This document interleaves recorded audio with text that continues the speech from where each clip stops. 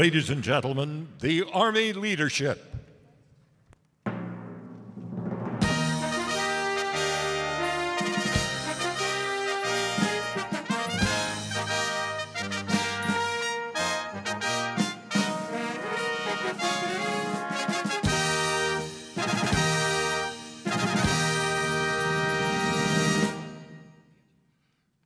Ladies and gentlemen, please remain standing for the presentation of the colors and the singing of the national anthem by the United States Army Band Pershing's Own, conducted this morning by their leader and commander, Colonel Bruce Pulver.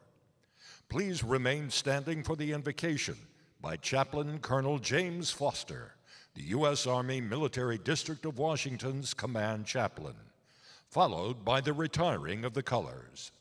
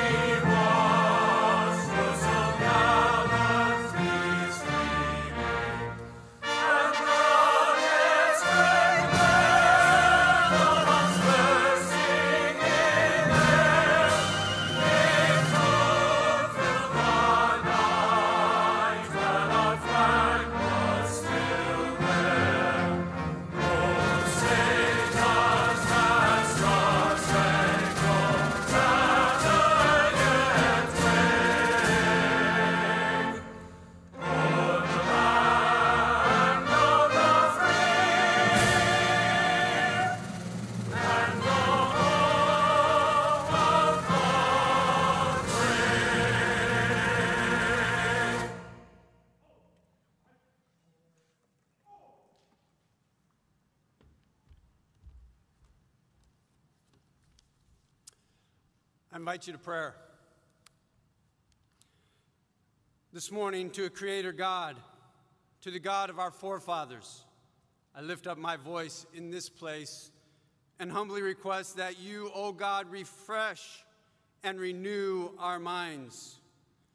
Continue to bring visions and dreams that inspire creativity and possibilities. Open up the windows of heaven and the doors of opportunity here on earth so that men and women can continue to make a difference in the lives of those around us and for those who have yet to be born. Oh Lord, I believe that you have given gifts unto us. And in this room are people that have given of those gifts to make an impact for the Army, God, they're doing more than just saying, Go, be warmed and filled. So bless them, lead and direct them. Oh Lord, use us if you will, especially in these next few days for America's Army. Now be with those around the world deployed and serving in harm's way. Protect them and help them to know your presence. In that heavenly name, in the name above all names, I pray. Amen.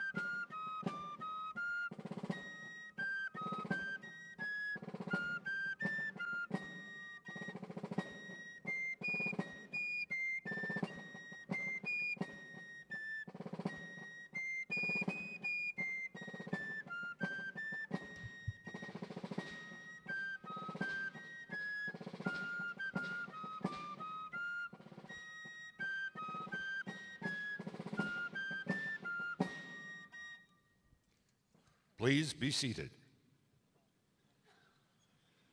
Ladies and gentlemen, the President of the Association of the United States Army, General Robert Brown, United States Army retired.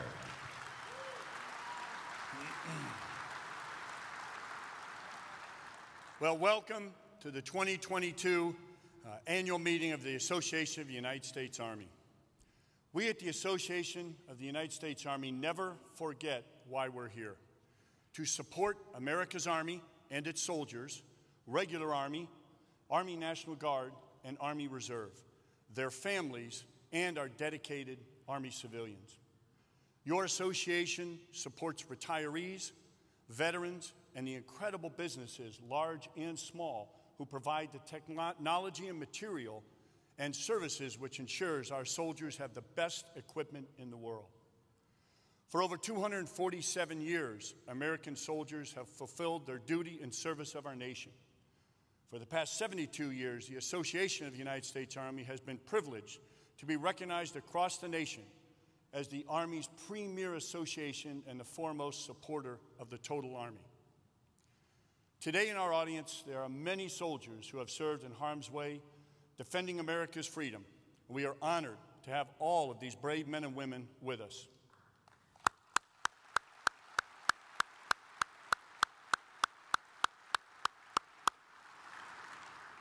We are honored this morning to welcome several Gold Star families. Your courage inspires us, and we promise you that we will never forget.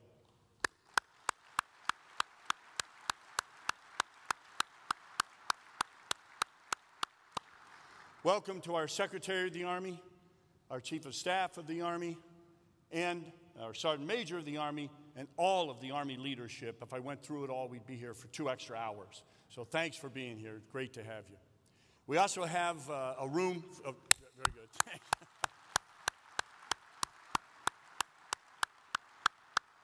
this room is full of leaders in whose footsteps we follow.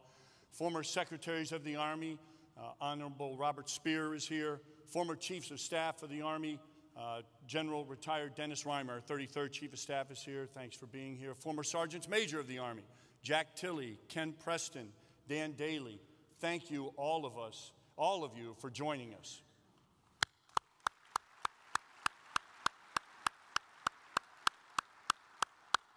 Let's now watch, listen, and learn from the soldiers of the Military District of Washington.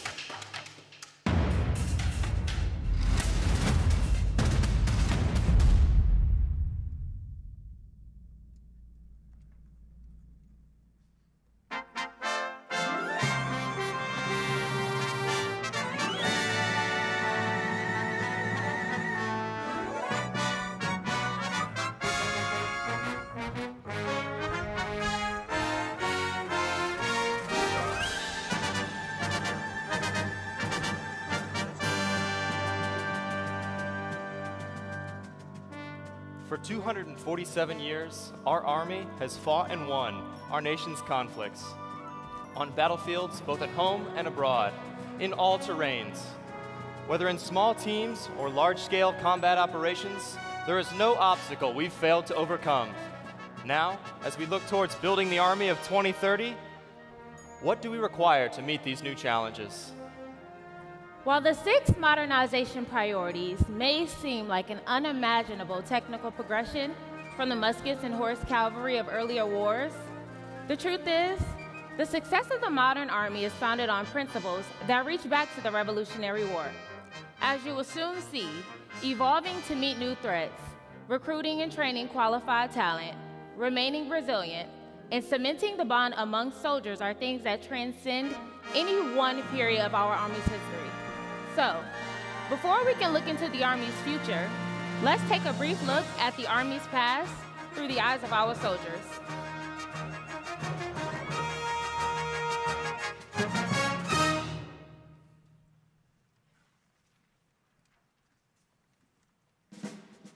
Joseph Plum Martin here, at your service. I was born in Massachusetts, but at the age of 14, I was sent to live with my grandparents in Connecticut. When my friends there began to enlist, I too wanted to experience the glory that people were always talking and writing about, and I wanted to help defend my home from British control. So, I enlisted, and now we find ourselves in Pennsylvania at this winter encampment at Valley Forge. It's been difficult, but we've committed ourselves to seeing this through. The constant freezing and thawing, along with a shortage of provisions, has been trying, but has made us more resourceful. We're building cabins for shelter and piecing together what we have for clothing and gear. General Washington remains confident that conditions will improve. And I share that optimism. We will prevail.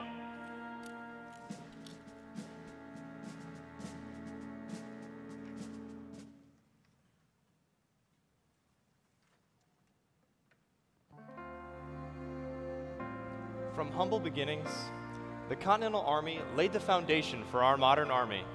Resilience, discipline, bravery of spirit became the trademarks of a successful American soldier and remain so today. Whether it was moving from smoothbore muskets to long rifles or the creation of unconventional warfare tactics, the U.S. Army has led with innovation. Today, we continue that tradition by placing a strong emphasis on education and training. Formal academic institutions like West Point and development programs like the Reserve Officer Training Corps, Officer Candidate School, and NCO academies help to build an adaptive, agile, and diverse Army by continually evolving enlisted and officer professional military education.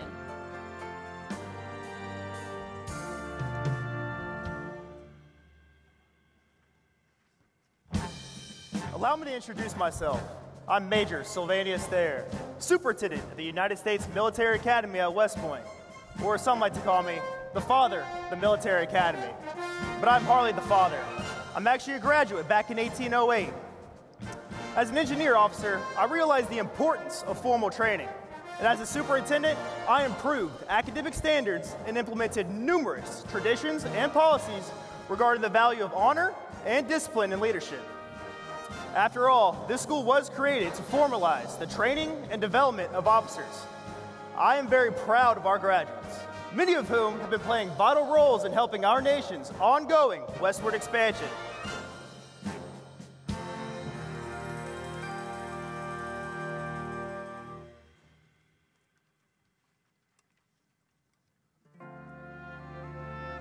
United States Army is a trusted institution, and the nation knows we will answer every call with professionalism.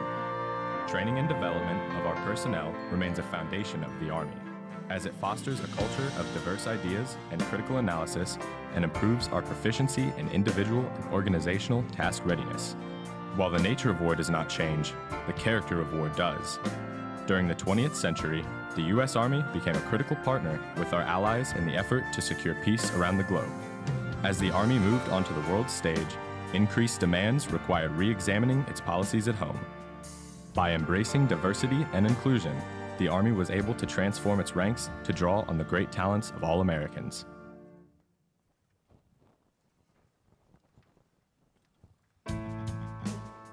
Private Henry Johnson here, a Medal of Honor recipient. I fought off a dozen German soldiers in World War I and was stabbed over 20 times and survived. I'm a member of the 369th Infantry Regiment, the Harlem Hellfighters. The enemy gave us that nickname because they said our all African American unit fought like the devil. We served over 191 consecutive days on the front line in Germany. My name is Betty Chambers. and I am one of over a thousand women who joined the WASP in World War II. Most of us were already pilots, but we trained an additional 27 weeks on every type of military aircraft that existed. Later, we instructed the male pilots in ground school and flight training. We flew planes from factories to U.S. military bases all across the country. Heck, we even delivered the planes that were used in the D Day invasion.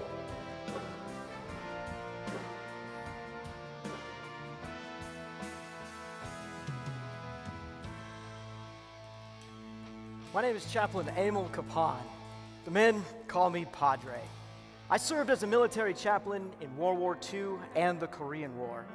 Unsan is a far cry from my childhood home in Kansas. But as the son of Czech immigrants, I saw what the United States could mean to people who wanted to build a new life, and I was eager to do my part to support it. When our regiment was attacked by 20,000 Chinese PVA soldiers, I ran from foxhole to foxhole, dodging enemy fire to bring 40 of my men out of harm's way. In the end, I was captured. But even in the prison camp, I found ways to resist, sneaking food to hungry soldiers and leading the men in prayer. Though my strength is failing, now more than ever, I feel my calling to serve the soldiers around me, no matter the cost. I'm Richard Ziemba, a warrant officer and dust-off pilot from the Vietnam War. I flew over 400 missions, saving hundreds of lives with my team. I had no hesitation in flying. We did what was necessary to get the ground forces out. The profound impact of the Army Air Mobile Doctrine wasn't just seen in our revolutionary dust-off missions. The use of helicopter gunships and the rapid movement of combat troops around the battlefield changed the way we fought. The Army needed to innovate to deal with the challenges presented in Vietnam, and as always, we succeeded.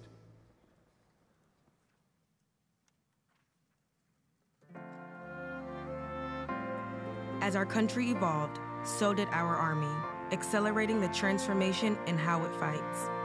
After Vietnam, the Air Land Battle Doctrine emphasized the three dimensional nature of modern battle, spurring on developments in new equipment and revamped training in large scale combat. Today, by implementing new technology, the Army is maintaining combat credible, ready formations while expanding our range of capabilities in the land, sea, air, space, and cyber domains. At home, the Army continues to supply defense support to civilian authorities.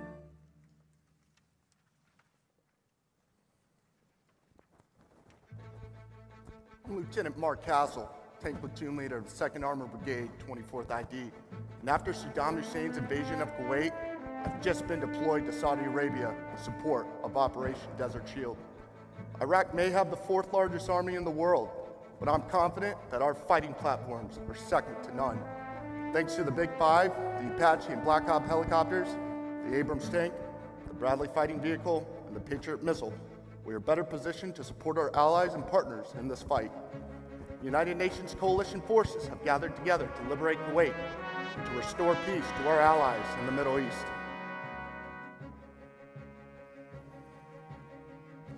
I'm Chief Warrant Officer Kevin Dares, Louisiana National Guard. When Hurricane Katrina hit in 2005, my unit acted quickly and decisively. The risks we faced this time around were 125 mile an hour winds and rising floodwaters. The conditions were intense, but training for combat prepared us for anything that Mother Nature could throw at us. Our helicopter pilots took to the skies and conducted search and rescue missions, and once the storm had passed, we dealt with rising floodwaters from breached levees. Hurricane Katrina was one of the most catastrophic natural disasters in American history, but we persevered and rescued thousands of American citizens.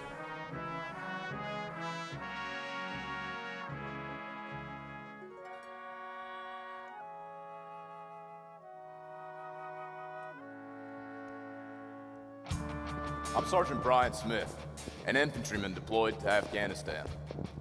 The enemy here doesn't fight conventionally, so we're using a combination of conventional and unconventional tactics to counter the guerrilla warfare and terrorist tactics utilized by the Taliban. I've conducted air assault missions from Black Hawk and Chinook helicopters to gain access to remote mountainous regions in order to combat the enemy. We've also developed improved communication technology to deal with the austere terrain and ramped up our use of drones to find the enemy and reduce risk to our soldiers. we remain committed to free Afghanistan from terrorism.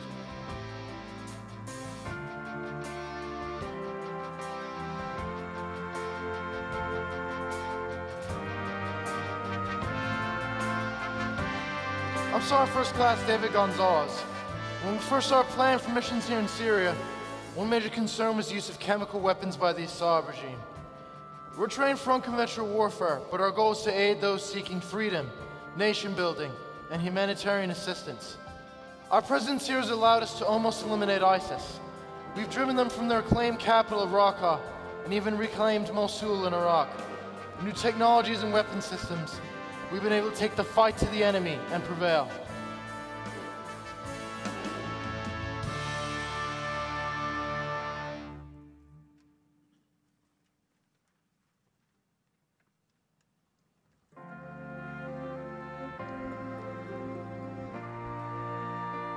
Around the globe, the U.S. Army provides the Joint Force trained and ready forces to preserve regional security with our partners and allies. Through the employment of Security Force Assistance Brigades, we strengthen our partnerships and interoperability. Our Army is also committed to the quality of life at work and at home. Through ongoing efforts to build positive command climate and through continuous improvement of soldier and family programs, such as housing, medical care, child care, and spouse employment.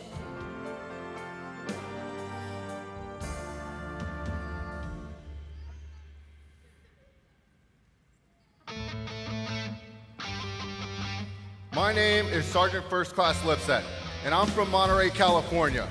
I serve as an air defense soldier. Now, once I completed high school, I really wasn't sure where I was headed, but I knew I was looking for a challenge, and the Army sure has delivered. Over the past year, soldiers have served in units just like mine, among some of the most deployed units in the Army. So that usually means you spend a majority of time away from your family. But the Army has been good to us. Take, for instance, when my wife was sick a few years ago, the Army was there for me and my family through all the doctor's visits, the surgeries, and the rehab sessions. To me, that's what people first really means taking care of soldiers at home and on the battlefield. My name is Specialist Moda from Miami, Florida, and I serve as an infantry rifleman. I joined the Army straight out of high school. I want to serve a purpose bigger than myself and also honor the legacy of my grandpa who fought in Vietnam. Before I enlisted, I had never even left my home state. But now, the Army has taken me all over the world. I've been to Alaska, Europe, even Asia. I got in training and experience that most people my age could only dream about, whether it's leading a team in a high stress environment or hitting center mass at 300 meters. My name is Private First Class Stephen Dix from San Antonio, Texas, and I serve as a network systems operator in the Army Reserves. The Army was the first service to offer cyber careers to its soldiers and civilians. And when someone told me that working with sophisticated military systems and equipment can help me in my civilian career, I signed up. As we shift into a data centric environment, my job is becoming more important than ever. I am on the front lines of a digital war to protect our Army's updated network capabilities, and I am proud to serve with integrity.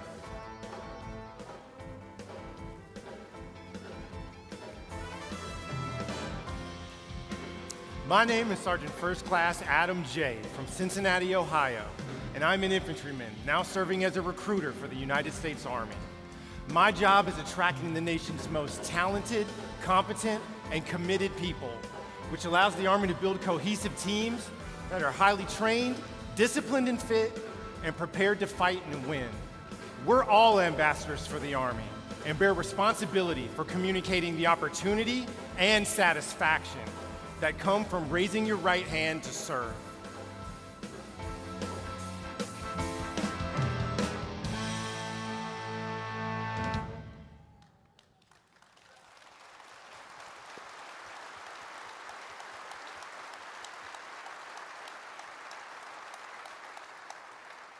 I, Henry Johnson, do solemnly swear that I will support and defend the Constitution of the United States against all enemies, foreign and domestic. That I will bear true faith and allegiance to the same, and that I will obey the orders of the President of the United States. and the orders of the officers appointed over me, according to regulations and the Uniform Code of Military Justice. So help me God. Building the Army of 2030 means reaffirming our commitment to being trusted professionals. It means taking a hard look and changing how we approach combat with new technology, battle systems, and doctrine as we assess our greatest current and future threats and how to mitigate them to dominate the battlefield. We'll continue to take a hard look at policy and doctrine to determine required changes and ensure our Army is capable of operating in all domains during campaign, crisis, or conflict. Building the Army of 2030 also requires that the Army care for its greatest asset, its people. We are committed to facing the realities of the future with the values and ideals that have sustained us throughout our history. Whether a near peer adversary or an insurgent threat, the U.S. Army remains ready to fight across the full spectrum of operations today, in 2030, and beyond. And whatever the future brings, when winning matters, the strength of our Army will always be its people. People first. Winning matters. Army, 2030. 2030.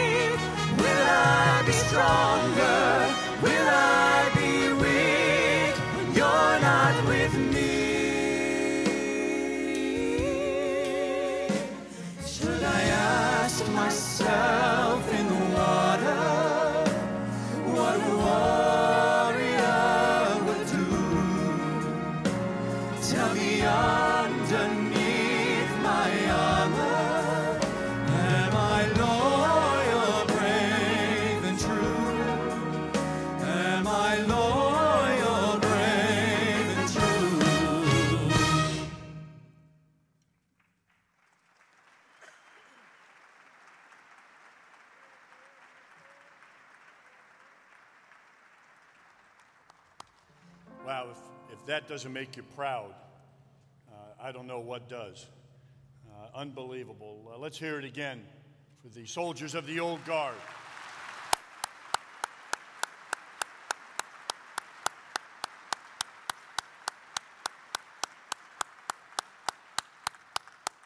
Troops dismissed.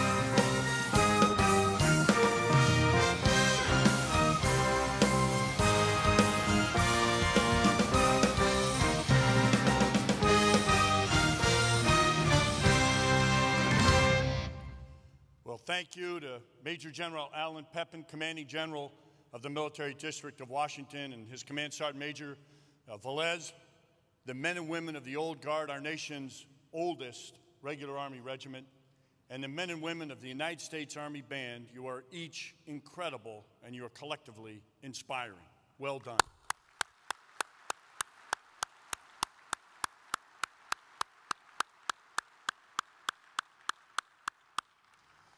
Secretary of the Army Christine Wormuth joins us for her second annual conference, and she's honored to serve alongside the men and women of the world's premier land fighting force, the United States Army. In the past year, our Army has answered the nation's call to reassure our NATO allies and provide support to our Ukrainian partners. At home, we maintain momentum on modernization to build the Army of 2030, and we work to improve the quality of life for our soldiers and their families, and provided much needed support to communities hit by natural disasters and in need of COVID 19 relief. She is no stranger to the world of national security, security, formerly serving as a special assistant to the President of the United States and Senior Director for Defense at the National Security Council, as well as having served as a Deputy Undersecretary of Defense for Strategy, Plans, and Forces, and then serving as Undersecretary of Defense for Policy. We are very fortunate to have her with us today to launch the 2022 AUSA annual meeting. Ladies and gentlemen, please give me a warm welcome to the Honorable Christine Wormuth, 25th Secretary of the United States Army.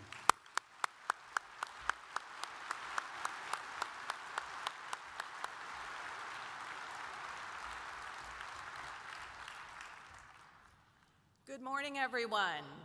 It is terrific to be here. It's great to be back for a second time. And what a terrific, inspiring opening ceremony to kick off this year's annual meeting. Thanks, General Brown, for the warm introduction, and thank you to the entire AUSA and Army teams for all of the hard work to make this event possible. Teams form the foundation of our Army, and I am fortunate to work with the highest caliber Army leadership team, starting with General McConville, our new Vice Chief, General Randy George, my Undersecretary, Gabe Camarillo, and of course, the SMA. Coming together here at AUSA gives us the opportunity to reflect on important Army accomplishments, take stock of where we are and where we're going, and look ahead to the future. It's a time to identify challenges and get inspired about everything that is possible for the U.S. Army. As I reflect and take stock of where we are, I'm confident that the Army is on the right track to realize our vision for the Army of 2030 and enable our soldiers, families, and civilians to excel and thrive.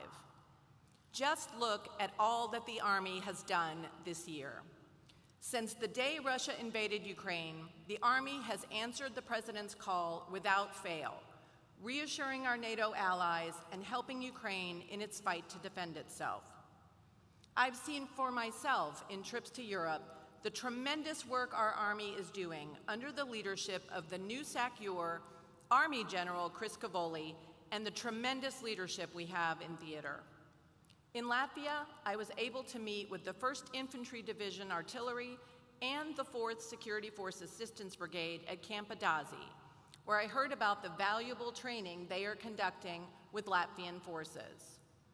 4th SFAB has been doing a phenomenal job in the European theater, deploying advisory teams on short notice to Bulgaria, Slovakia, Hungary, and Romania. They are the tip of the spear for security cooperation, and their efforts are paying significant dividends along NATO's eastern and southern flanks. In Lithuania, I met with soldiers from the 166 Armor Battalion at Camp Herkus. These soldiers are among the many supporting Operation Atlantic Resolve, demonstrating their proficiency in real time while downloading equipment from multiple ports drawing vehicles from pre-positioned stops, and transporting all of it across Europe to reinforce our NATO allies and partners. While training, the soldiers from the 166 Armor successfully completed a wet gap crossing exercise, which, as you all know, is no easy feat. In Germany, I met with Special Operations Forces, and in Poland, I met with soldiers from our renowned 101st Airborne Division who are taking in equipment from all over Europe and getting it to our Ukrainian partners who so urgently know it or need it, as we saw from what happened uh, just in the last several hours. And on the other side of the world, the Army has been busy in Indo-PACOM as well, building partnerships through the multiple exercises that comprise Pacific Pathways. Reflecting the Army's strategic focus on the Pacific, we will stay busy in that region because China is our pacing challenge. We must strengthen deterrence in the Pacific by building out our logistics and sustainment support over the region's vast distances and by demonstrating what ready, combat credible Army forces can do, working in concert with our allies and partners. Closer to home, our National Guard and Reserve soldiers have helped communities in need, whether as part of the pandemic response, at the southwest border, or in Florida in the wake of Hurricane Ian just a couple of weeks ago. All of this shows that this year, like the last few years, the Army keeps rolling along doing amazing things. But even as our Army deploys all over the world, training, exercising, and conducting missions, we are working hard to build the Army of 2030, the theme of this year's annual meeting. Despite the many other things the Army does, the Army exists to fight and win the nation's wars. We cannot lose sight of that fundamental purpose. And to make sure we remain the dominant land force on the battlefields of 2030, the Army is undergoing a once in a generation transformation that will position the Army to deter and defeat future threats. Transforming into the Army of 2030 means adopting new operational concepts, reorganizing our forces, and developing new capabilities so that we maintain superiority over any future adversary. And we are well on our way there. To succeed on the future battlefield and continue to dominate the land domain, the Army of 2030 needs to do six basic things. First, we need to see and sense more, farther, and more persistently at every echelon than our enemies. Second, we have to concentrate highly lethal, low signature combat forces rapidly from dispersed locations to overwhelm adversaries at a time and place of our choosing. Third, we've got to win the fires fight by delivering precise, longer range fires as part of the joint force to strike deep targets and massing enemy forces. Fourth, we have to protect our own forces from air, missile, and drone attacks. Fifth, we have to reliably and rapidly communicate and share data, not just with ourselves, but with our sister services and our coalition partners. And sixth, we've got to sustain the fight across contested terrain for both short, sharp operations as well as protracted conflicts. Field Manual 3 0, our newly released capstone doctrine, elaborates on these six main ideas and will reshape the way we organize, develop, train, conduct exercises, and build out our formations. To realize this vision and build the Army of 2030, we are transforming our force structure and evolving how we fight. We must do this to prepare for the challenge of large scale combat operations, strengthen deterrence in the Indo Pacific, and to be ready if deterrence fails. After two decades of counterinsurgency and counterterrorism operations in Iraq and Afghanistan, focused on brigade and below operations, the Army is shifting its organizational focus to larger formations, more capable of integrating with our sister services and our allies and partners around the globe. Our study and analysis of recent conflicts, exercises, simulation, and training tells us that brigade commanders must focus fully on winning the close fight. To allow frontline leaders to concentrate on the close fight, division and corps commanders will have the responsibility and capability to visualize the larger picture. To ensure they can do this, our theater armies, corps, and divisions will gain the personnel, organizations, and equipment they need to disrupt and defeat peer adversaries on the future battlefield. These force structure redesigns go well beyond building SFABs and additional multi-domain task forces. By consolidating fires, engineer, and military intelligence at the division level, we will maximize the division's ability to shape the fight and enable brigades to close with and defeat enemy threats. At the corps level, we will provide the additional personnel and organizations necessary to fully converge effects across all domains. Our corps will be Joint Task Force certified, capable of commanding and controlling joint and multinational formations. And these organizational investments will be multiplied by leveraging advances in commercial data analytics to improve the speed and accuracy of our leaders' decision making. As we make these organizational changes, the Army of 2030 must also equip its forces with new and different capabilities.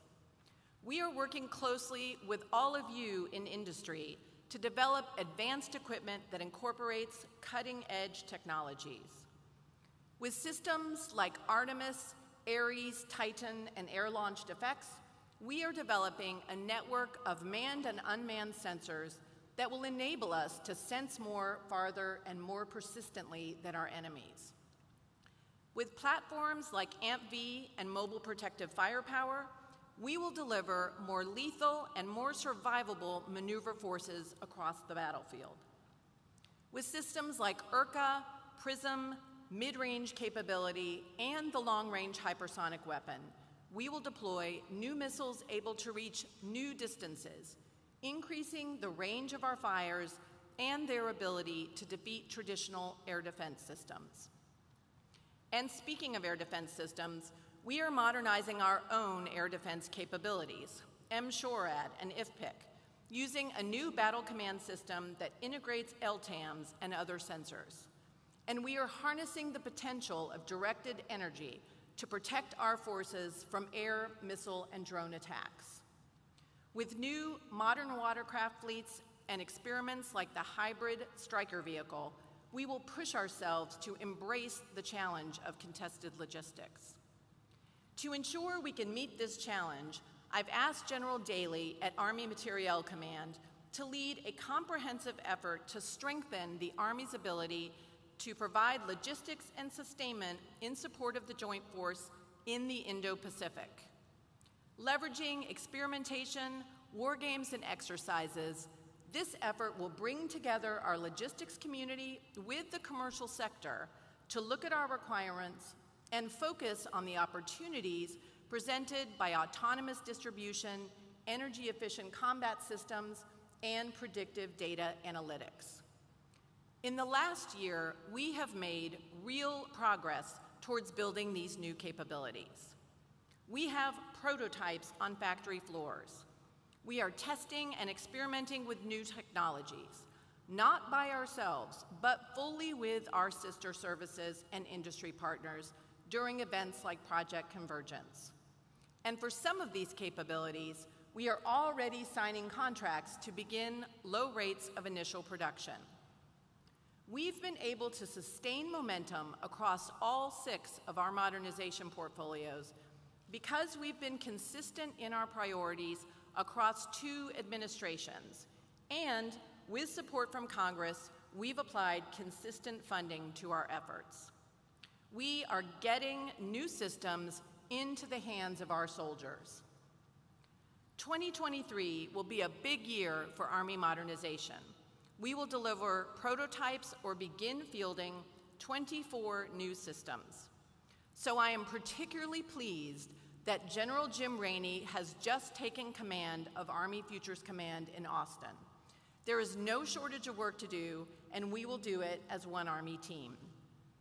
While we continue to deliver these capabilities to support the Army of 2030, we must push ourselves to think even farther out in time. How should we be thinking about warfighting in 2040? What next generation capabilities will that warfight require? Given evolving threats and the pace of technological change, we always have to think about what the Army will need next. So I've asked General Rainey to lead and accelerate our efforts to begin developing next generation operating concepts, defining gaps and requirements for our next generation weapon systems, and leading the design of the Army of 2040. we will need to take the long view to determine what foundational investments in technology are needed today so that we are ready tomorrow. As we make these generational investments to prepare for the future fight, we must do so sustainably, maintaining readiness while transforming at a pace informed by the resources that we have. As I said last year, this will require some hard choices about the pace of our modernization versus maintaining our ability to respond to crisis while taking care of our people. And speaking of our people, a critical part of realizing the vision for the Army of 2030 is ensuring our soldiers and their families are well taken care of. Where our soldiers live and work is a fundamental part of their quality of life, and it's something that as Secretary of the Army, I am especially focused on. As I visited our installations all over the country this year, I've heard a lot about the rising costs of housing, substandard barrack conditions, and difficulties getting children into our child development centers. I am committed to fixing these issues, and I know that every Army leader shares that commitment. We are building on initiatives like Secretary Austin's recent decision to increase BAH across 28 military housing areas where rental costs have sharply increased. We are working with OSD to look at how BAH is calculated so that it accurately reflects the real housing market. We are investing $1.5 billion in the next five years to build and improve Army owned housing. We are investing $3.1 billion through fiscal year 26 to replace, renovate, and build new privatized housing. After visiting Fort Bragg in July and hearing about the barracks at Smoke Bomb Hill, which we will demolish and rebuild, I am more committed than ever that we must stay committed to investing at least $10 billion for the next eight years to improve our barracks for active National Guard and Reserve soldiers. To realize the Army of 2030, yeah, let's hear it.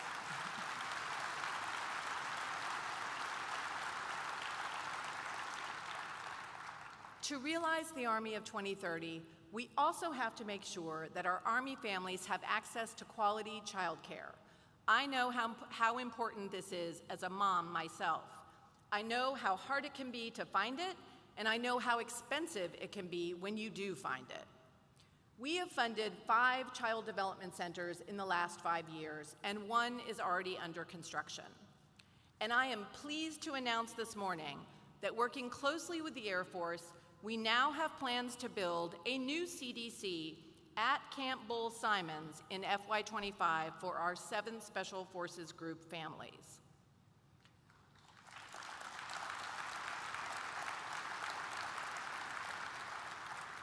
Once these CDCs are built, we will significantly increase child care capacity.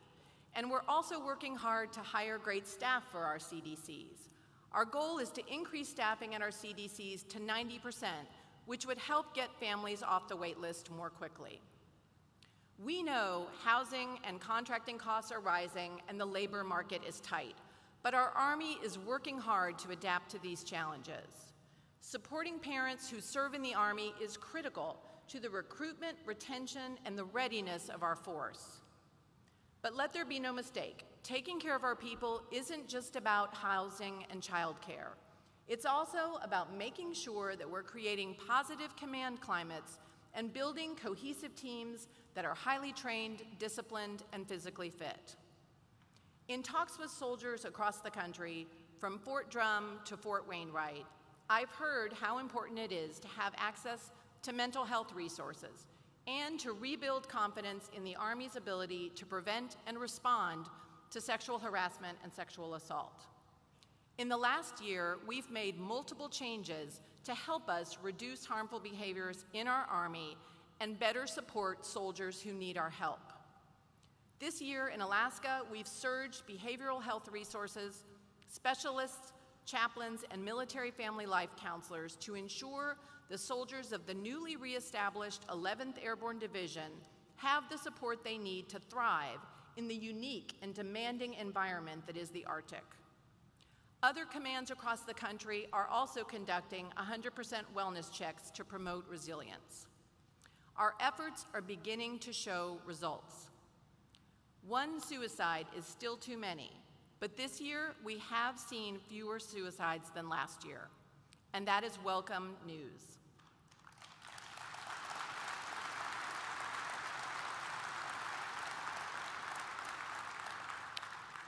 In addition to redesigning the Army's SHARP programs, this summer we also established the Office of Special Trial Counsel, which will be led by a one-star and who will report directly to me, who will take the lead in trying cases of sexual assault. As part of Secretary Austin's Independent Review Commission, we are building a specialized prevention workforce to assist our commanders in their efforts to reduce harmful behaviors and to get resources to soldiers and their families who may be struggling. We have already hired over 80 prevention specialists who will serve in three Army commands and five installations. We plan to hire another 200 prevention specialists next year. And by FY27, we will hire more than 1,300 specialists across all three Army components. We are committed to taking care of soldiers and families, but I know that more work remains, and we will keep working these issues. The Army of 2030 not only has to ensure its families thrive, it also has to unlock the full potential of our soldiers so they can excel. We must transform the way we train, educate, and prepare America's sons and daughters for an increasingly complex future battlefield. The Army is investing in programs and professional military education to improve how leaders identify their own strengths and weaknesses and to add to their intellectual kit. Whether it's a year spent at one of the nation's premier war colleges or a top civilian institution, the Army is committed to helping soldiers further their intellectual pursuits as they prepare to face the increasingly complex threats of the future battlefield. We're also reinventing how we unlock the talent of our soldiers, better empower our NCOs and officers to manage their own careers, and select the best leaders for command. It's taking time, but we are building a 21st century data driven personnel management system to transform how we develop and manage the talent that is the bedrock of our military advantage.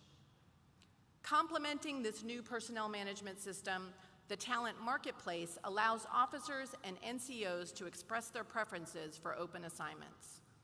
The ability to express preferences for units and locations based on individual skills as well as family preferences has been a game changer. The marketplace lets everyone play a more active role in managing talent for the Army and has increased trust in the assignment process. And that helps keep talent right here in our Army where our nation needs it. And finally, we have profoundly changed how we're selecting individuals for command, giving us more ability to develop and select leaders who are truly ready for these demanding assignments. The new selection process ensures that go those going into critical leadership positions are strong communicators, physically fit, able to effectively develop those around them, and achieve res results through productive leadership styles. We are well on our way to building the Army of 2030. And like our Army today, it will be the best trained, best equipped, and best led Army in the world. It will be an Army that takes care of its soldiers and families and ensures that everyone in it can be all that they can be. But we have to do a better job telling Americans about what's possible in our Army today and in the future. We have got to do more to get the word out on just how much the Army has to offer young Americans. And we need to debunk some of the misperceptions that are out there about what it means to serve in our Army. Only 9% of young Americans aged 16 to 21 even express interest in serving in the U.S. military. In this kind of recruiting landscape, we need a full court press to get out into communities around the country to talk about the U.S. Army.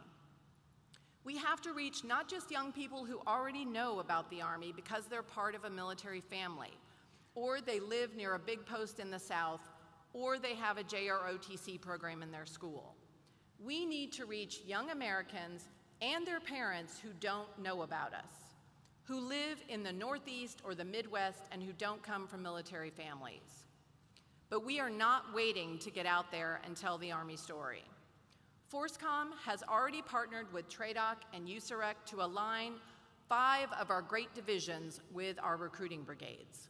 This will help USAREC extend its reach into communities all around the country. Going into the next fiscal year, we're going to build on recruiting initiatives we started in FY22, most notably the Future Soldier Prep Course at Fort Jackson. The prep course demonstrates the Army's commitment to invest in young Americans who do want to serve, offering them the chance to raise their academic and physical fitness qualifications so that they can join our ranks. And so far, the early results look very promising. We've also launched a recruiting task force led by a two star general that will report directly to me and General McConville to give us actionable recommendations to improve how the Army recruits its future talent.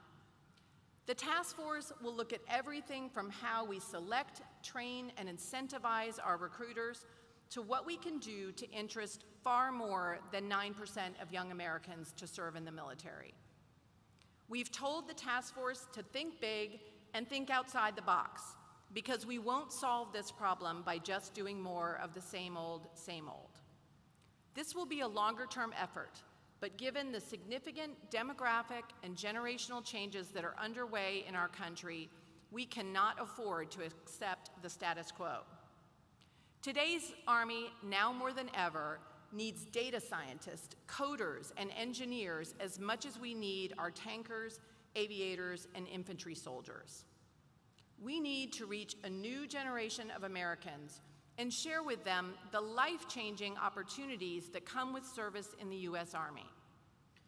The trends that have reshaped the recruiting landscape didn't develop in just a year, and it will likely take more than a year to put all the needed changes in place. But I am confident that we are going to get this right because we cannot afford not to. And we need all of you in this room to help us tell the Army story and inspire more Americans to serve. Before it even became a nation, America had an army, and for the past 247 years, America's Army has fought and won our nation's wars. Our Army has weathered the challenges of world wars, the end of the Cold War, the war on terrorism, and today, we are ready to defend this country as we once again face nuclear armed, near peer competitors. We are living in challenging times. Social, economic, demographic, and climate changes are reshaping our country and countries all around the world. And we face a wide and sobering range of national security threats. But I have confidence that our Army can and will meet these challenges. We will forge ahead, building the Army of 2030 so that we are ready for the stark realities of the future battlefield. And we will look beyond 2030 to start preparing today for what lies ahead in 2040. I am inspired each and every day as Secretary of the Army by what I see our great American soldiers doing all around the world. Their commitment, their grit, their ingenuity, and their trust in each other and their leaders cannot be found anywhere else.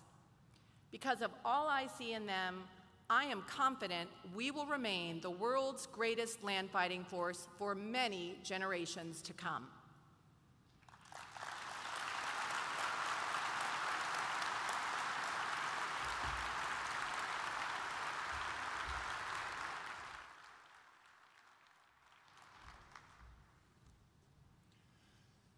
Well, thank you, Madam Secretary, for those inspiring and memorable words.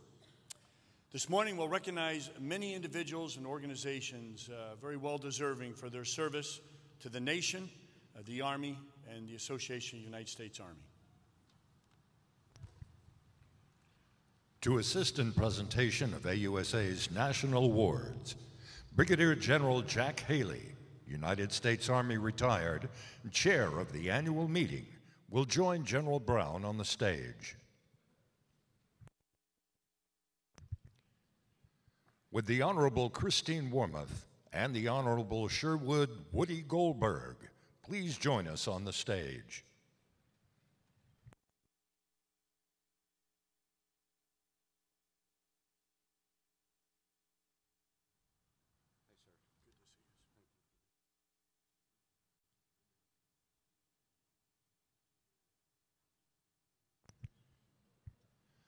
The General Creighton W. Abrams Medal is presented to the civilian aides to the Secretary of the Army CASA program as it celebrates its 100th year of service to the United States Army. Established in 1922, the CASAs are business and community leaders appointed by the Army Secretary to advise and support Army leaders across the country. They come from many professions, including business, education, finance, medicine, and public service, and each is actively involved in his or her community. As the Army's ambassadors, the CASAs have bridged the gap between the American public and our great Army, and they have done it as volunteers. While the program has evolved over the years, the core mission remains the same, representing every state and territory. The CASAs help to tell the Army story, support the total Army workforce, and support transitioning soldiers and their families. On this, the program's 100th anniversary, it is only fitting that we recognize the tremendous impact the CASA program has had and will continue to have in making the U.S. Army the finest in the world. In grateful recognition, we proudly present the General Creighton W. Abrams Medal to the civilian aides to the Secretary of the Army in their centennial year.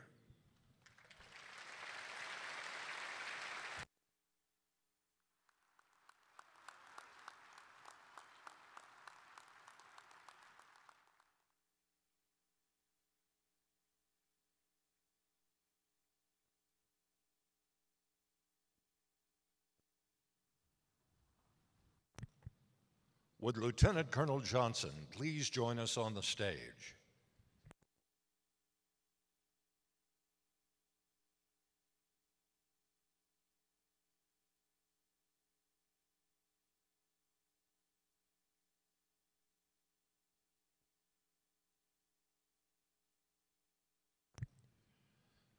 The Major General Anthony J. Drexel Biddle Medal is presented to Lieutenant Colonel Ronald Johnson U.S. Army retired, for his outstanding contributions to the Association of the United States Army. Lieutenant Colonel Johnson has served at the national, region, and chapter levels of AUSA for over 30 years, a longtime volunteer leader whose tireless efforts have helped AUSA achieve its vision of being recognized as the Army's premier association. Ron has served as the Second Region's president, executive vice president, and treasurer. He also led the Potomac Liberty chapter for two years, helping the chapter achieve Chapter of Excellence recognition. Ron also volunteered at the national level, serving on the Finance Committee and the National Scholarship Evaluation Team, helping select the best qualified applicants for AUSA's National Scholarship Program. In recognition of his selfless service to further AUSA and its mission, we proudly present the Major General Anthony J. Drexel Biddle Medal to Lieutenant Colonel Ronald Johnson, U.S. Army, retired.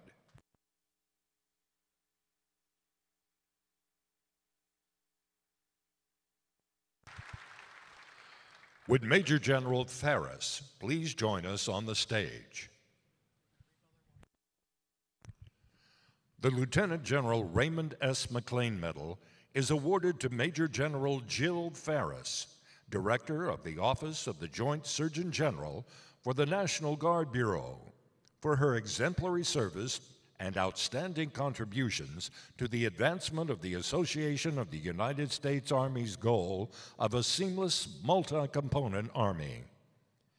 Faris distinguished herself during the COVID pandemic when she was asked to lead the daily operations, plans, and training for the U.S. Army Medical Command Army Surgeon General's Office. Faris integrated the Army's medical enterprise as it responded to the pandemic, navigated reforms to the medical health system, and weathered the turbulence of medical command restructuring. Faris and her team created and deployed the first urban augmentee medical task forces across the U.S. to help hospitals overwhelmed with COVID patients, and also led the effort to increase the Army's ability to test for COVID, expanding the nine existing laboratories to 46 and deploying hundreds of testing machines designed to test for COVID in rapid sequence.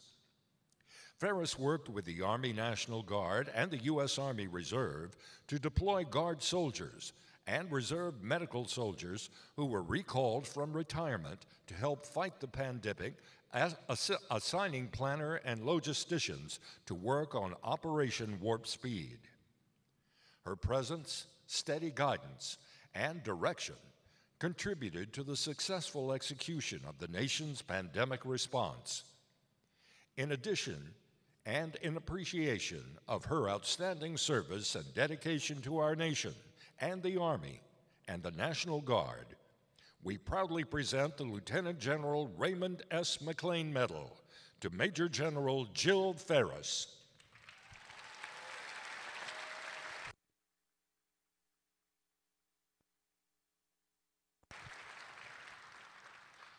Would Command Sergeant Major Leake please join us on the stage?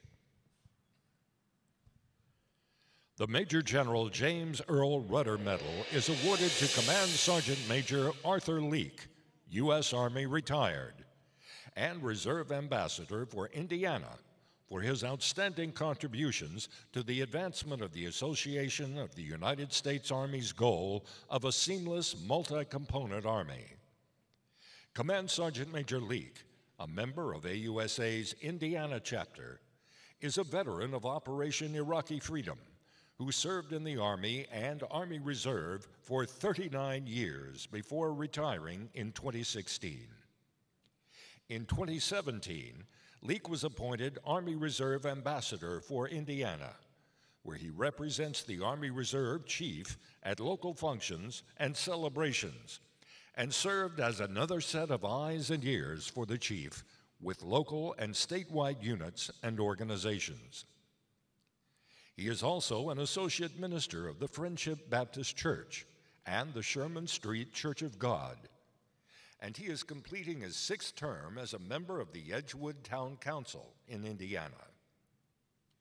Command Sergeant Major Leake has consistently shown excellence in leadership in the performance of his duties in the Army, in his contributions to his community and church, and in his leadership as registrar at Anderson University. Wherever he has been assigned in the Army or in his community, he has quickly risen to the top. In appreciation of his outstanding service and dedication to our nation and the Army Reserve, we proudly present the Major General James Earl Rudder Medal to Command Sergeant Major Arthur Leake, U.S. Army, retired.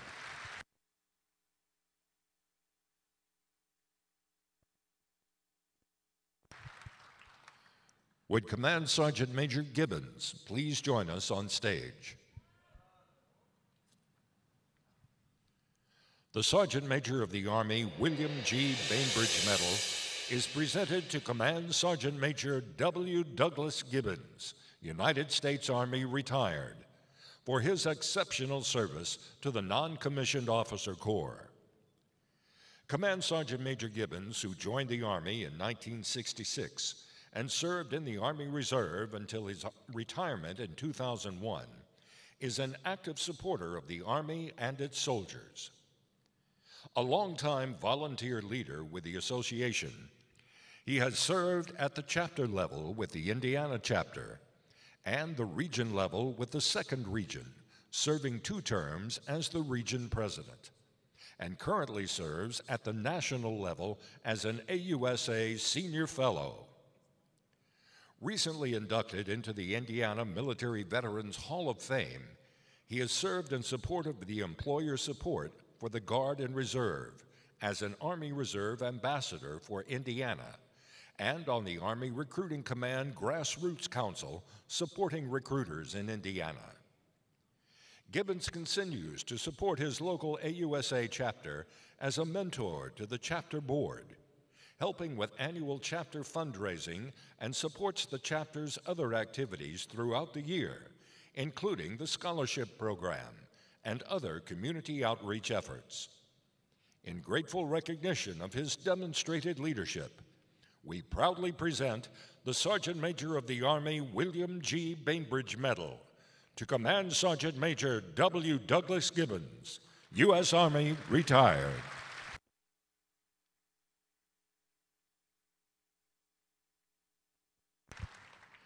Would Sergeant Major Engbrecht please join us on stage? The Joseph P. Cribbins Medal is presented to Sergeant Major David Engbrecht, U.S. Army retired, Director, Homeland Defense, Civil Support Office at the Army's Maneuver Support Center of Excellence at Fort Leonard Wood, Missouri, for his exemplary service to the U.S. Army.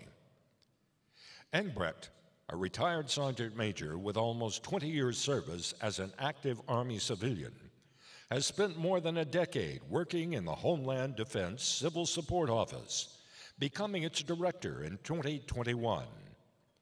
He has consistently risen to the challenge of finding solutions to the Army's needs.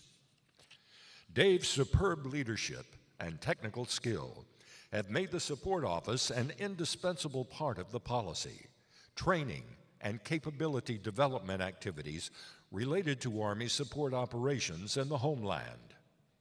David Engbrecht is recognized across the Army for his leadership and technical expertise in this critical mission area. Actively engaged in the community around Fort Leonard Wood, Dave serves as a volunteer, mentor, and guide to other organizations working with soldiers and veterans. In recognition of his commitment to the highest ideals of service as a Department of the Army civilian, we are proud to present the Joseph P. Cribbins Award to David Engbrecht.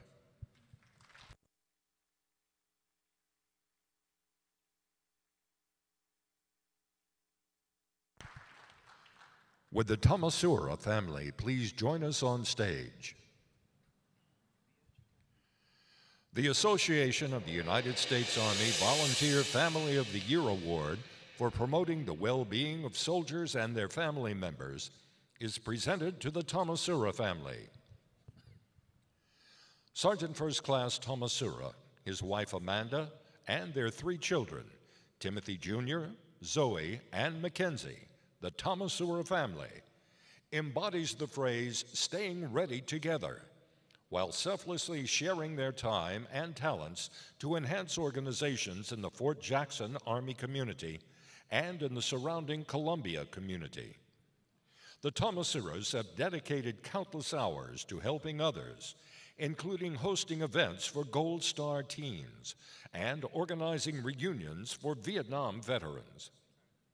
The Tomasura family is also actively involved in the battalion's soldier and family readiness group. Volunteering to lead, Amanda organized fundraising efforts to raise money that supported events for families in the battalion. The Tomasura family understands the skills and discipline needed to make serving others possible, and they always strive to give their best within their family and to others. In recognition of the commitment the Tomasura family shared with the Army community, we present our Volunteer Family of the Year Award to this remarkable family.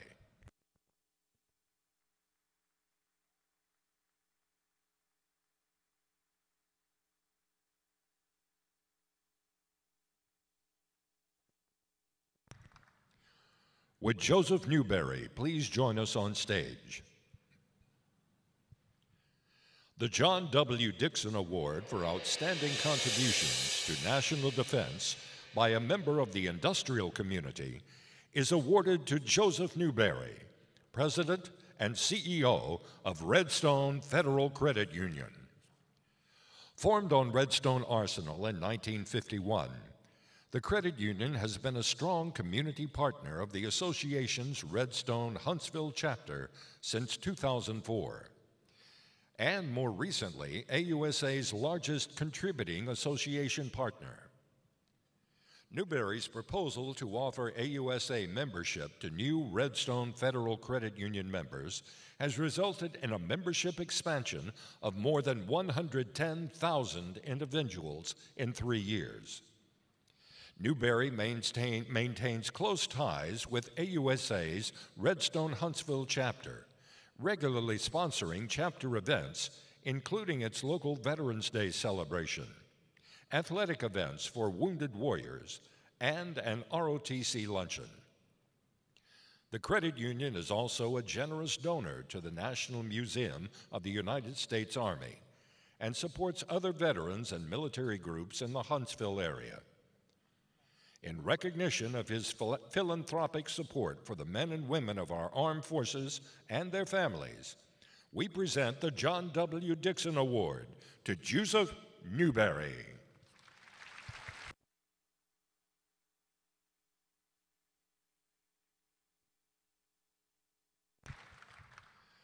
Accepting the award for Bass Pro Shops, would Johnny Morris please join us on stage? The Association of the United States Army National Service Award is presented to Bass Pro Shops and their founder and CEO, Johnny Morris, for exemplary service and demonstrated enduring support to the American soldier and the United States Army community.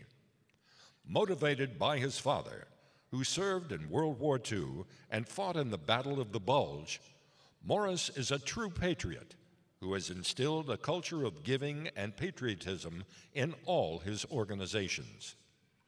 This year, the Bass Pro Shops donated a home to Marine Sergeant Joe Bartell, an amputee, and paid the mortgage for Army Staff Sergeant Dan Barnes, a wounded warrior and Mr. Morris pledged to pay for 25% of the next 100 donated homes through the Helping a Hero organization. Morris also offered a free day at the Wonders of Wildlife National Museum and Aquarium to more than 500 soldiers at Fort Leonard Wood, Missouri, who were not able to be with their families during last December holidays. His company also donated funds to establish a series of memorials honoring heroes.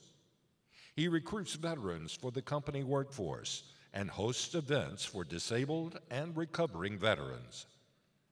In appreciation of their dedicated service to the men and women in uniform and their families, we are honored to present the National Service Award to Bass Pro Shops.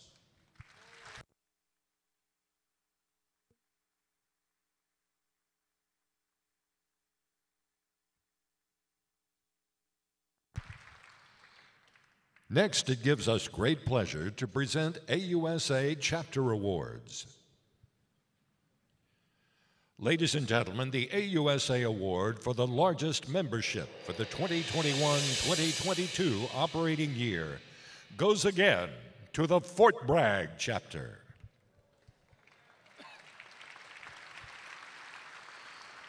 Accepting the award for the Fort Bragg chapter Major General retired Al Acock, Chapter President. Major General Brian Mennes, Deputy Commanding General, 18th Airborne Corps. And Command Sergeant Major Thomas Holland, Command Sergeant Major, 3 Corps. And CW3 retired Ariel Aponte, immediate past Chapter President.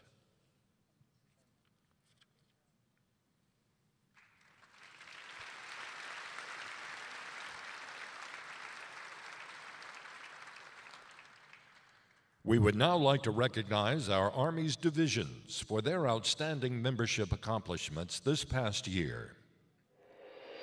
This year, the Active Duty Division Award for the largest active duty membership goes to the 82nd Airborne Division, Fort Bragg, North Carolina. Accepting the award for the 82nd Airborne Division, Major General Christopher LaNeve, Commanding General, 82nd Airborne Division. Command Sergeant Major David R. Pitt, Command Sergeant Major, 82nd Airborne Division. And Major General Retired Al Acock, Chapter President.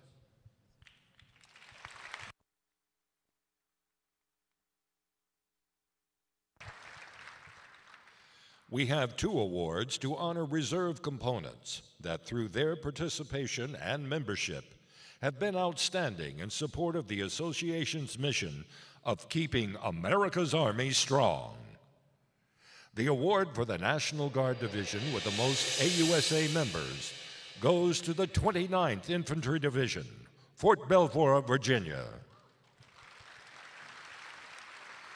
Accepting the award for the 29th Infantry Division, Colonel Dan Collins, Chief of Staff, 29th Infantry Division, and Command Sergeant Major Darrell Plude, Command Sergeant Major, 29th Infantry Division.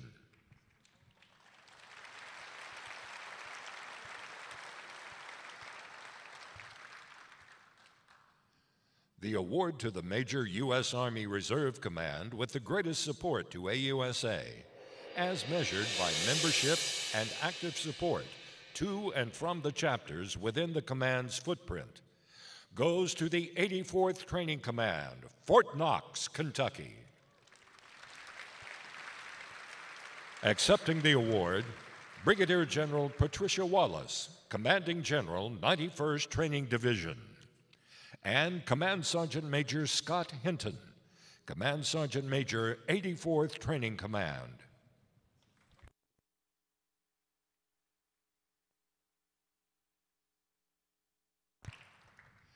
And now, presentation of the Best Chapter Award.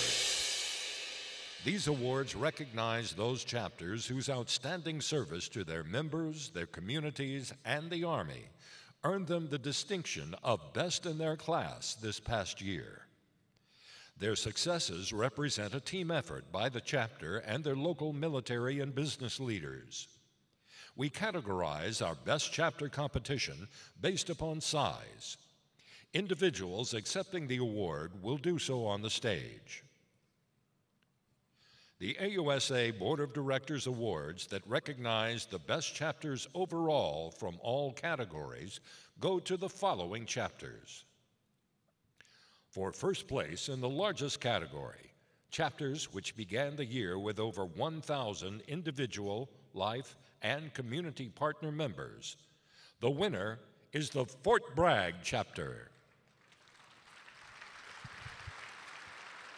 Accepting for the Fort Bragg chapter, Major General retired Al Acock, chapter president, accompanied by Major General Brian Mennes, Deputy Commanding General, 18th Airborne Corps, Command Sergeant Major Thomas Holland, Command Sergeant Major, 18th Airborne Corps, and CW3 retired Ariel Aponte, immediate past chapter president.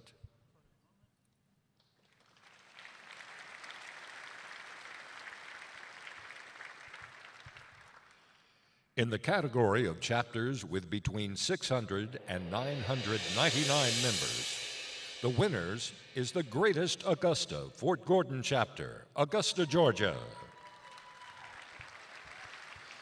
Accepting for the Greater Augusta Fort Gordon chapter, Carrie Bridges, chapter president, accompanied by Major General Paul Stanton, Commanding General, Cyber Center of Excellence. Command Sergeant Major Belia Quintero, Command Sergeant Major, Cyber Center of Excellence, and Colonel Retired Kelly Knitter, immediate past chapter president.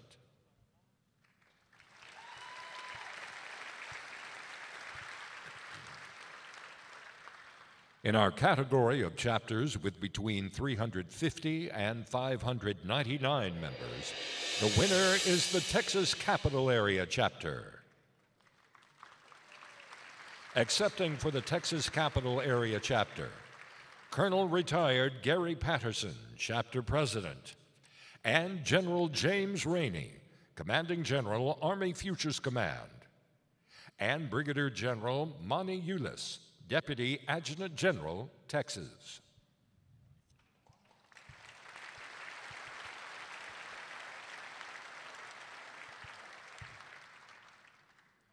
In the category of chapters starting the year with between 200 and 349 individual, life, and community partner members, the winner is the Dix chapter. Accepting for the Dix chapter, Command Sergeant Major Retired Arthur Maggs, Chapter President, Major General Rodney Falk, Commanding General, 99th Readiness Division.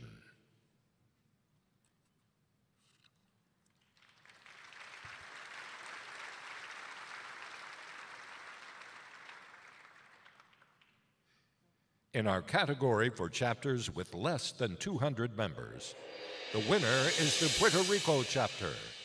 Accepting for the Puerto Rico chapter is CW4 retired Cristina Lozada Cruz, chapter president.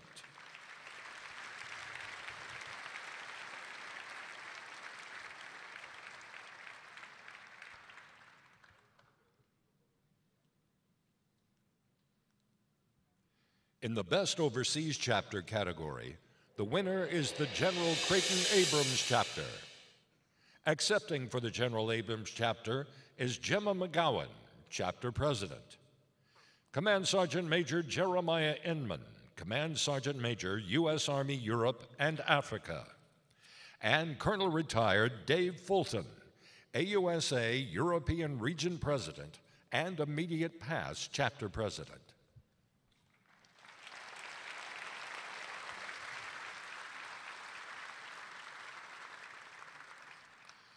With the representatives from the following chapters who were selected as runners up for Best Chapter Awards. Please stand and be recognized. George Washington, North Texas Audie Murphy, and Coastal South Carolina. And this concludes the award presentations. Please give everyone a hand.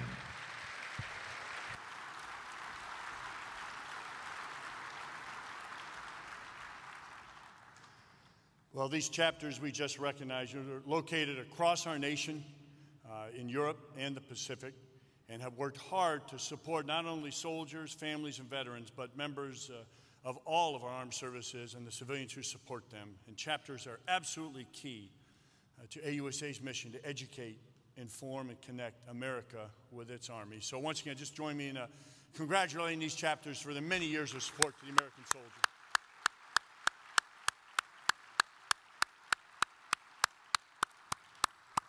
Now, I do want to acknowledge some special attendees in the audience.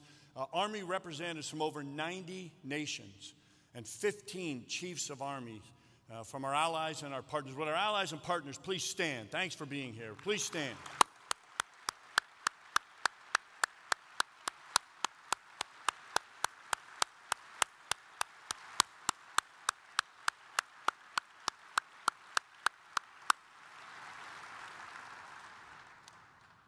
Well, yesterday, runners from around the world competed in the 38th Annual Army 10 Miler. Glad to see it back out on the road again. It was, of course, hosted by the U.S. Army Military District of Washington. And so we want to celebrate and recognize the third largest 10 mile foot race in the world, known as the Army's Race. And your association is a founding sponsor of this tradition of excellence and proudly celebrates its 38th year as co lead sponsor, along with KBR, an AUSA national partner. All race proceeds, by the way, go to benefit family and morale, welfare, and recreation programs. So, for all, uh, all of you who are not able to attend the race, we have a special video that highlights the Army's annual premier athletic event. Ladies and gentlemen, the 38th annual Army 10 Miler.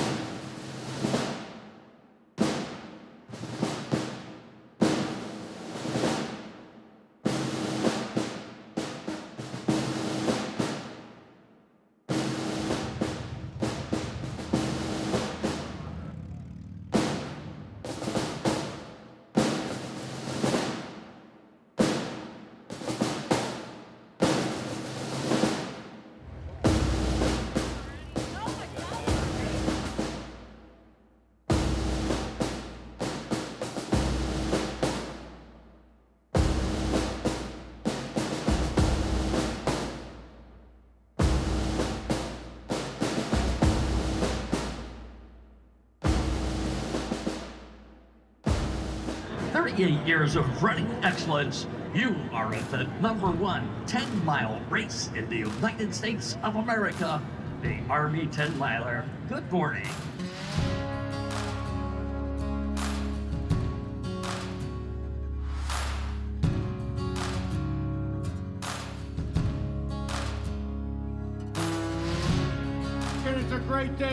American soldier. It's a great day to run with 20,000 of your friends. Have a great race, and remember, winning matters. Hooah!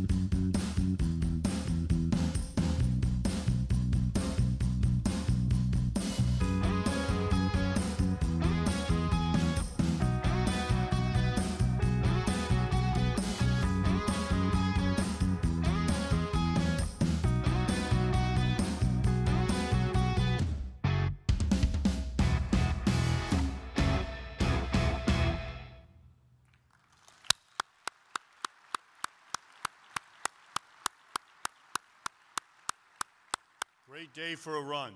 Copies of the video can be found on Army10miler.com if you're interested. Will the outstanding soldier athletes who ran in the race please stand to be recognized as I call your name and or your team.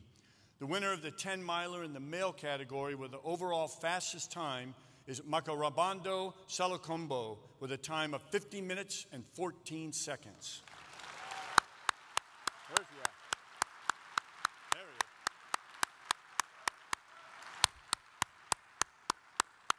Great job. The winner in the female category is Colette Ramp with a time of 57 minutes and 23 seconds.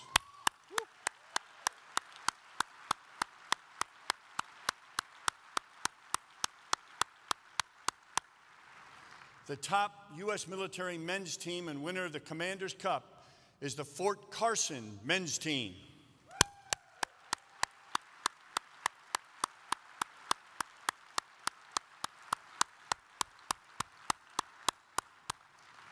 The top U.S. military women's team and winner of the Commander's Cup is the Fort Carson women's team.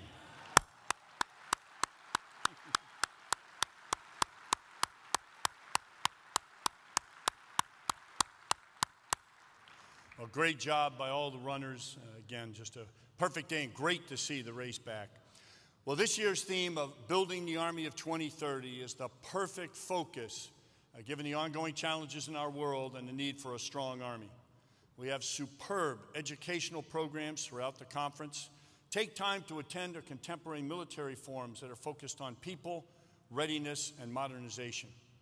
There are also over 25 educational and professional forums and development programs available over the three days. We have a series of new initiatives with AUSA Cyber World, a first ever junior leader solarium, and a human performance pavilion. We've got over 700 exhibitors, including eight international pavilions. And these exhibits highlight the latest in technology and showcase innovative ideas to ensure our soldiers have what they need for any contingency worldwide. Make sure you get to the exhibit floor and take advantage of this opportunity. This is also an exciting time. As we all know, membership matters, and AUSA is rapidly approaching half a million members and we're introducing a no cost basic membership at this meeting. So take advantage and join the team to support your Army. Thanks for joining us. I'm certain this will be the best annual meeting ever.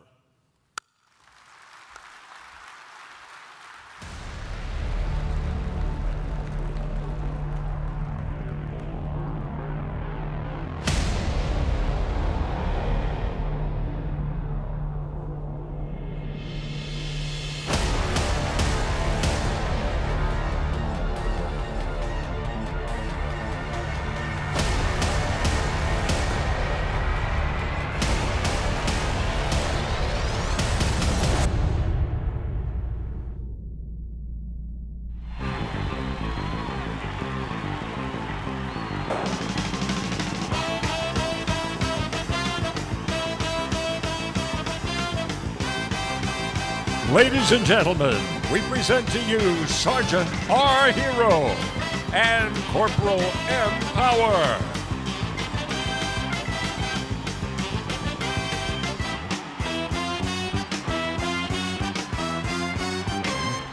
As our opening session concludes, Sergeant Hero will lead the line to the exhibit halls with the World War II battle cry, Follow me!